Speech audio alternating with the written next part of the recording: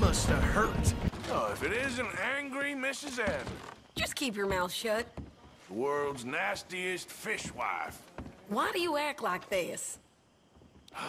She's real I've frightening. had it with you now. I'm only joking with you. We need more money. Till we can get back to Blackwater and collect. I'm here. Oh, I see that kindly face of yours, and I know that for the right inducement, a gentleman such as yourself could be mighty kind. Now get out of here. Oh, now you keep saying that. But you don't mean nothing by I it. I said You said your last words.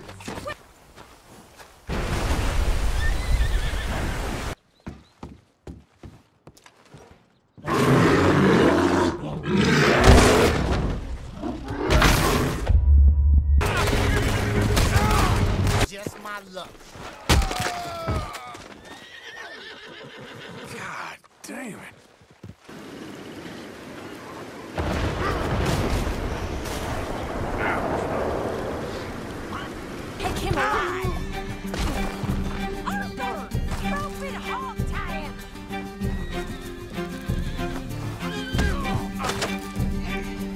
We can get in time. There's not too... Oh, Excuse me a moment.